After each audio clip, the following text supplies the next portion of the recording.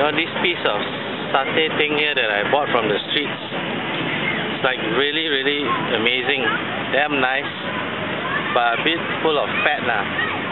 The meat very pyong, very tasty. Then we realized as we are eating it, ah, there are little, little, little, little tiny bones. Don't do that, shaking. There are like little tiny bones, right? Then we realized like, okay, maybe this is not pork. And then the bones are like, every bite are like little tiny bones, then maybe it's not chicken. So what is it? Can't be beef. Doesn't taste like beef. Takkan rat ah. Can't be chicken either. Wow, that's suspect. Cannot eat anymore. What what turned out what started out as a really damn shock experience. Suddenly I damn stressed. Don't want to eat anymore. Yeah, that's it. lah.